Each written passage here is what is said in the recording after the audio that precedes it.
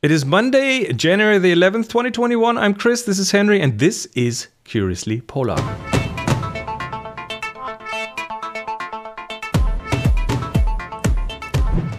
Hello and welcome back to Curiously Polar. Um, Henry, how are you doing today?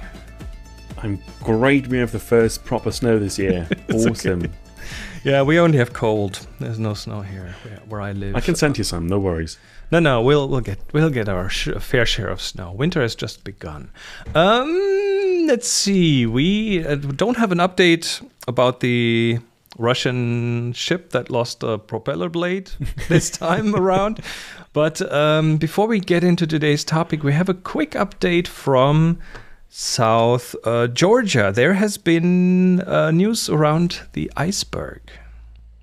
Yeah, the British Antarctic Survey just sends uh, scientists down to South Georgia to uh, execute some uh, assessment and research on A-68A and also there actually remains. actual people are going down there now to actual people are going down. Out. There are already people going down. Um, there are already people down there, but um, the like core team of, of analysts and, and, and, scientists that research that iceberg. They are based in uh, England and they now finally um, set up an expedition in record times. Wrong button. Sorry for that. Um, uh, nothing happened. Nothing to see here. Move along. Um, so so yeah, this this is a pretty short, quick response time to send someone down there. Yeah, usually it takes years to set up expeditions yes. of of that scale, and um, now they just use the facilities. They they use the ship um, in the area and um, just go down there, and um, yeah, take the opportunity, which is very rare, to actually really research the the impacts and effects of um, such a huge chunk of ice of of uh, fresh water in such saltwater ocean environments, and uh, yeah, that's pretty amazing.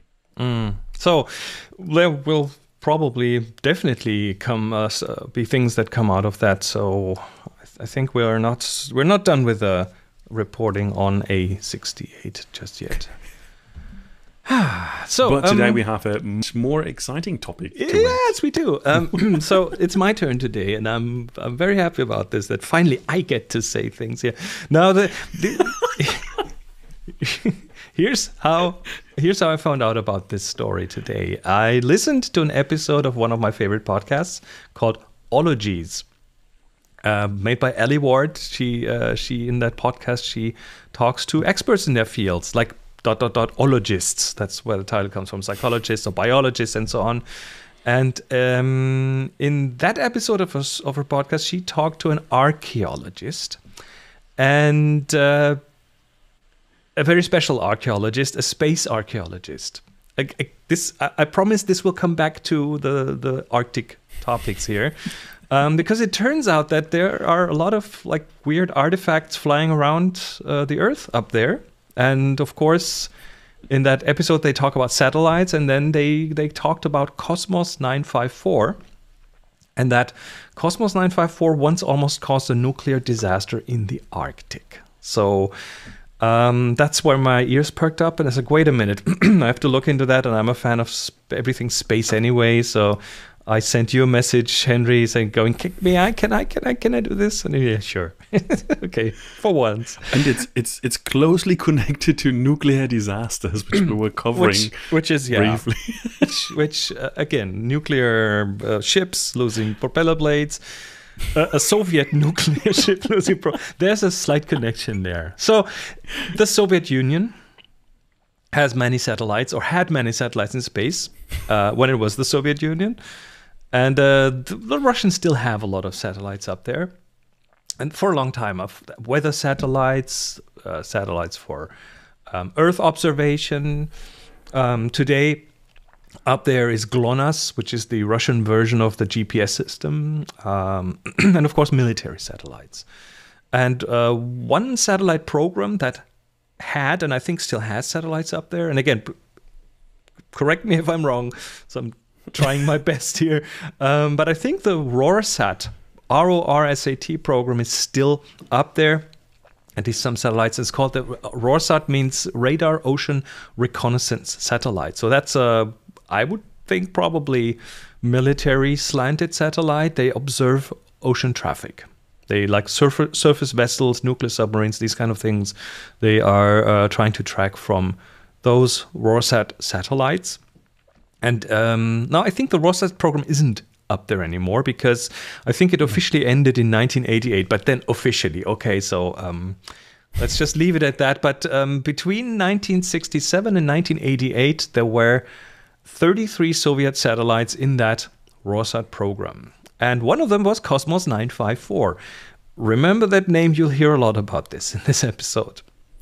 Um, Cosmos 954 was a Soviet marine reconnaissance satellite. It was launched in September 77, and that's also an important date. Um, they launched it from the Baikonur Cosmodrome, and it's a satellite that was in pretty low Earth orbit, and uh, so so low that it orbited Earth around every 90 minutes. So uh, it's a very fast flying satellite uh, actually quite a bit lower than uh, ISS today.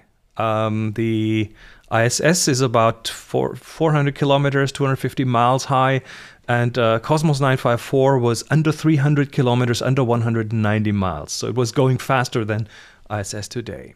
And of course, that has some some side effects because um, a satellite like this needs power.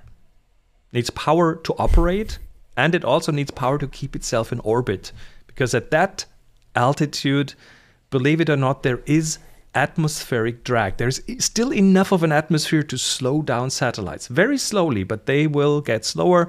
So you will need some power source to lift it up back to its satellite. ISS does this too. So um, they sink very slowly, but then they come back up again, or they are lifted back up again through a power source.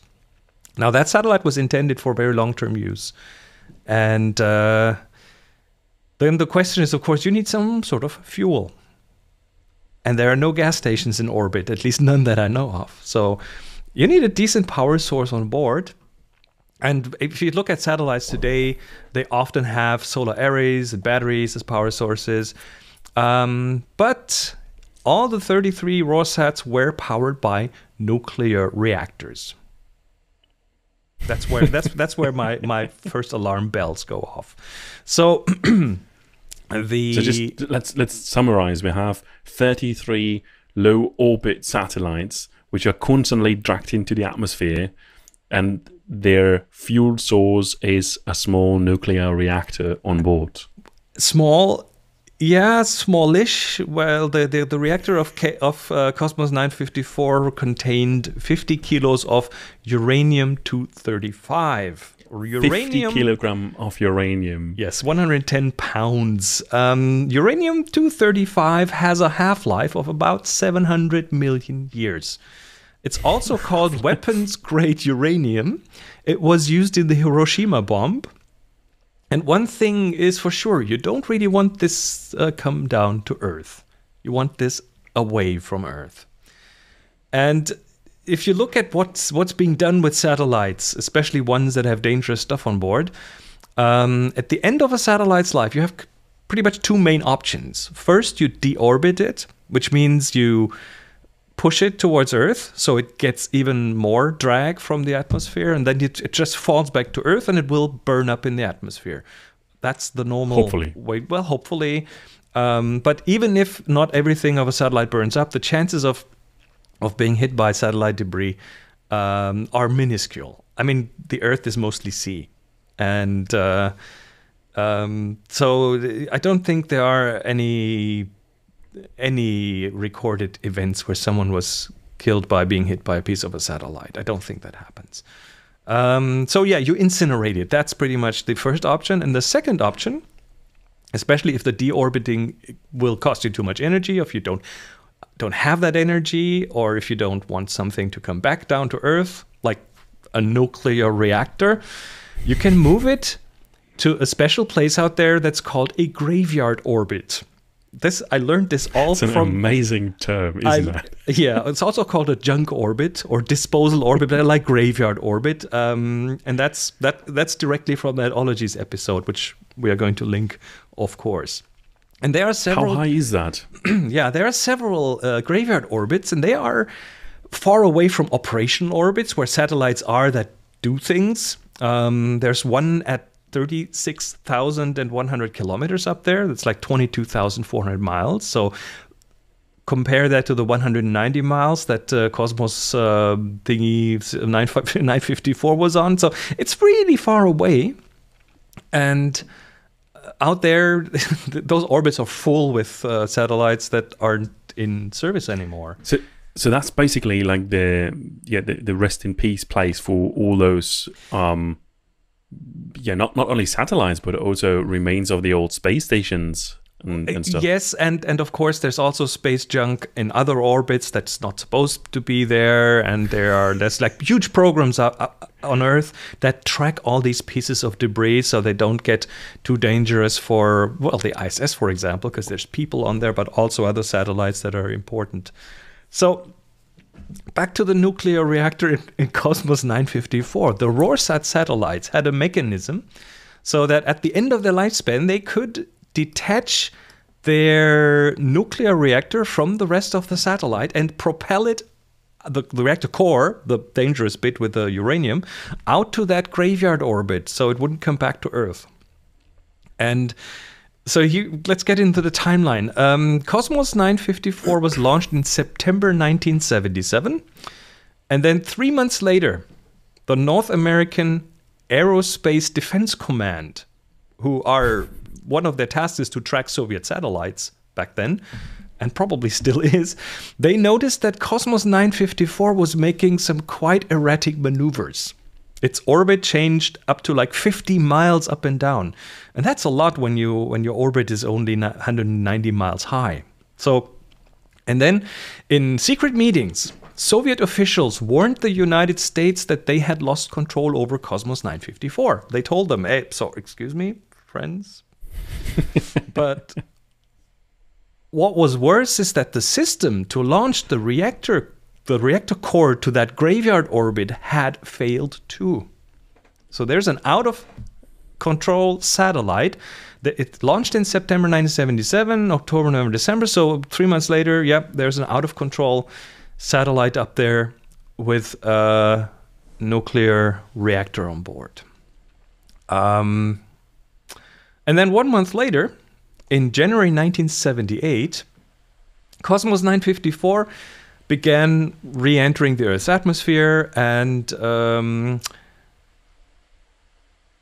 and while the Soviets first claimed it had like completely burned up during re-entry, so no danger, it all burned up, it turned out uh, that uh, debris from Cosmos 954 ended up being scattered on Canadian territory along a, a pr pretty long, like 370 mile long corridor, 600 kilometers long, in Alberta, in Saskatchewan, and in what's today the Nunavut territory.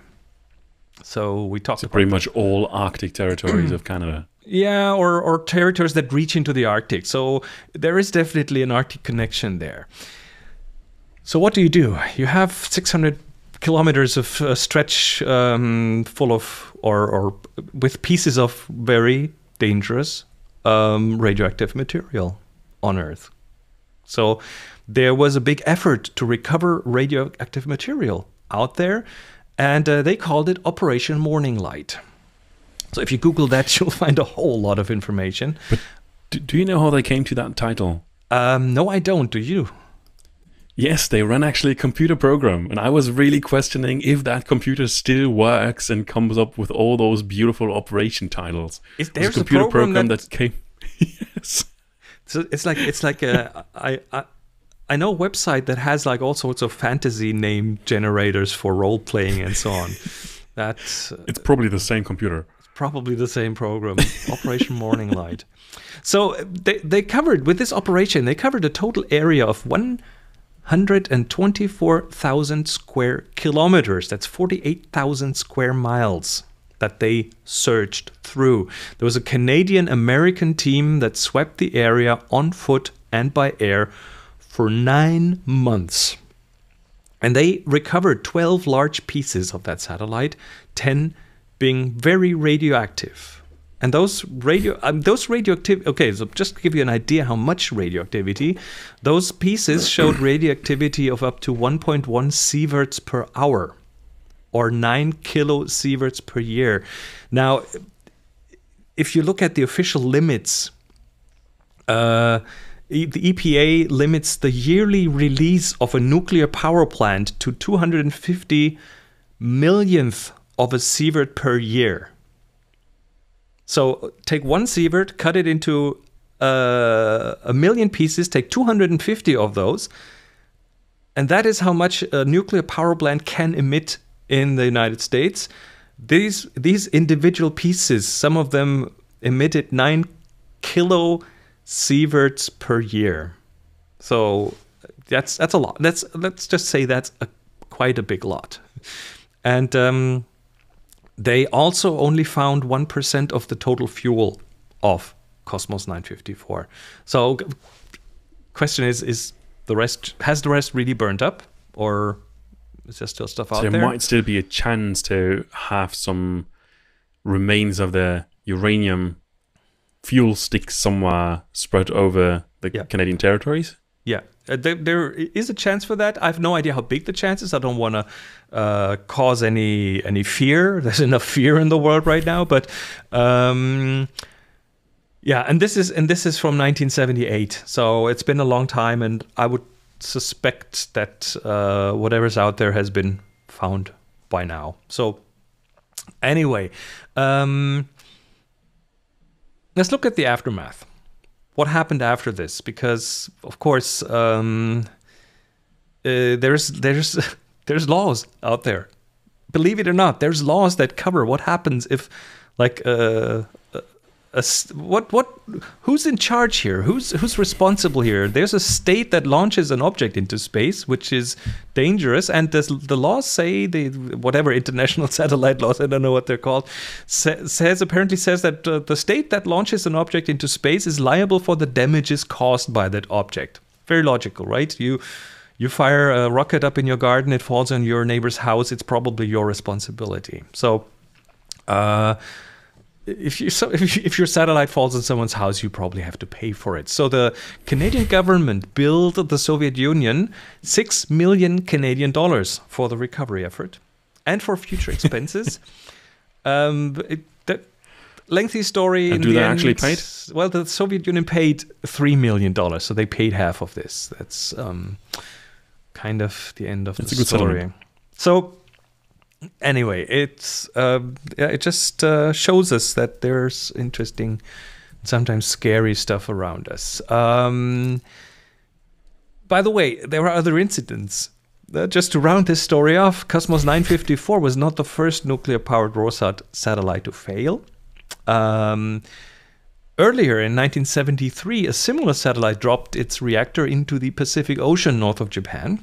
So I don't know if it's still there and in 1983, the Cosmos 1402 dropped its reactor into the South Atlantic. So they have a history of, uh, the RORSATs have a history of, yeah, not really. Malfunction? Yes, that's what you could call it. So um, after that third incident in 1983, they redesigned the back, or, or they added a backup ejection mechanism to the uh, nuclear core, so that uh, it that that shouldn't happen again. And it did uh, work once in 1988. Was another RORSAT issue, and the backup mechanism that at that point successfully raised a nuclear core to that graveyard orbit. So what's really mind-boggling uh, on this story is actually the, the, the actual operation morning light um, the incident was discovered in the United States first from uh, the NORAD um, station, and from the communication with the Soviet Union, they actually calculated where the um, satellite supposedly goes down, and through that they actually went in contact with the Canadian government, and they both decided to keep a low profile and not um, alarm people because you always have to keep in mind the areas um, where the debris of the satellite might have come down is populated. There are people living there, even though it's sparsely populated, but yes. it's populated. Yes. And actually, the, the largest chunk of the debris came down in the Great Slave Lake, which is straight at the edge of Yellowknife, the largest in the Northwest Territories and the largest settlement there. Yep. So this operation brought together the military uh, resources of the United States and Canada, and that was the first time that I actually went in direct contact. It was not really just like a, a, a dry training. It was actually the first time they, they came in contact with radioactive material. The military um, services were actually supposed to protect um, the the population. So they went out there in the harshest conditions, and that's something really amazing. And there, the the Arctic um, topic just links together. It's something nobody really was prepared. So the first and uh, foremost thing of that operation was preparation of those uh, people going out into the operation and um, just yeah, be able to survive that long operation because, as you said, Chris, it was a long undergoing. It was just not a few weeks. They actually spent months there, and they really um, tried to, yeah, roam through the entire area, um, which was yeah the, the possible debris area, to find that radioactive debris because that actually really is a hazard. It's not about um, protecting technology; it's about the the natural hazard for population. And that's a, a pretty amazing outcome of that operation. They could, of course, not keep it quiet. So word no, way too big, around. way too big for that. Yes. it was way too big, exactly. Particularly, you need to to involve the sparsely populated um, settlements there. So you, you need to involve the the communities and tell them if you find something that looks technical, don't touch it. Might be radioactive, might kill you. So by that, it's just spread and it became a huge media event back in the days. Yeah. And um, yeah, it, it was everything but secret at a point, and uh, that was a, a, very interesting outcome. So you, you find quite some some um, pop culture uh, references to that Operation Morning Light. Yeah. So, yeah, what can we learn from that? Always look, always look up. Always wear, always bring an umbrella. I don't know, but um, there's more happening than we than we know. At least uh, until it becomes too big to hide. So, indeed, which which is and which is not helpful in a time of conspiracy theories. So. Certainly not. But for me, the the, the major thing in, in, in this topic was to find out that there used to be satellites operated on nuclear power, which uh, I knew. How, which I knew. They're they're. I didn't. Yeah, um, the, like if you look at if you look at something like the the rovers on Mars, they have a nuclear power source because they are just so far away. But even a satellite just just 190 miles above you is you cannot refuel it, at least not uh, in a in a cost effective way. So you have to have a power source that lasts for whatever the mission is designed for. Um, and and solar isn't always uh, an option, I guess. At least for at least back in 1977. Maybe today they are more power efficient, and maybe people have wisened up a bit to not put that kind of stuff up there above us. And the, my, one of my big learnings from this um, from this episode was the graveyard orbits. That there are multiple graveyard orbits where they put things they don't want back on Earth, and they are like safe up there. They don't need to be propelled; they just stay up there.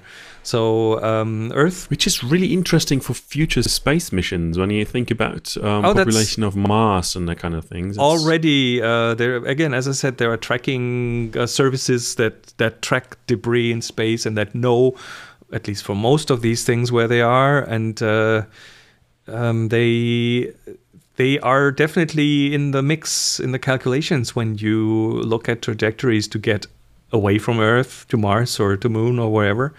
So um, yeah, you don't want to run into a satellite that's out there. And while this is, I mean, if you look at maps and at live trackers of satellites, you, it looks very crowded. It is still not as crowded as you'd think it is, so the chances are small that you hit something, but they are there, and course you kind and the speed they're traveling is just a danger. Uh, the lower, the really... faster. I mean, we're we're yeah. looking at. I mean, the, the the weightlessness that the that the astronauts in the ISS have is not real weightlessness.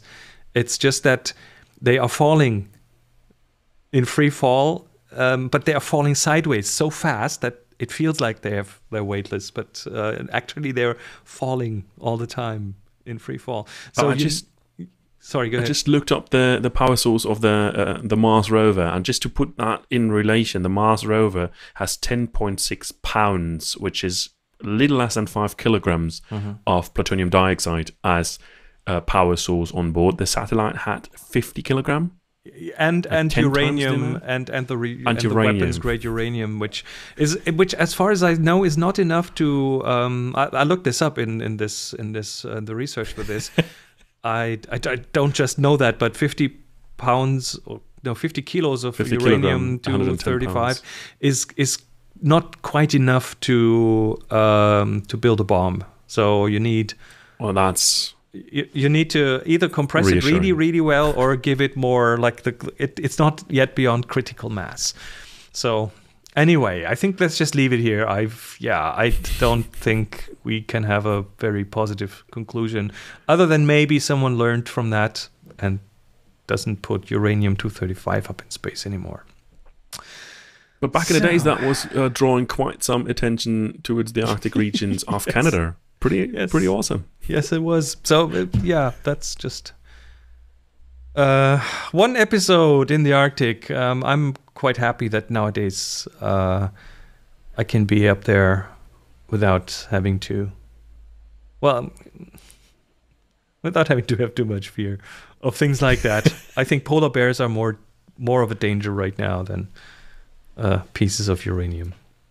Let's hope. Hopefully probably more polar bears than pieces of satellites up there. So we hope you enjoyed this episode. If you have like remarks, if we missed anything, um, or if our research went the wrong way and we said things that were incorrect, correct, us. Let us know. We are online, of course, at all sorts of different places. We are on the Twitters and Instagrams at curiouslypolar.com. We have a website, curiouslypolar.com, where you can find um, uh, pretty much all episodes, going back to episode one. And uh, yeah, we'll be back in about a week from now. Until then, everyone, take care and bye bye. Bye bye.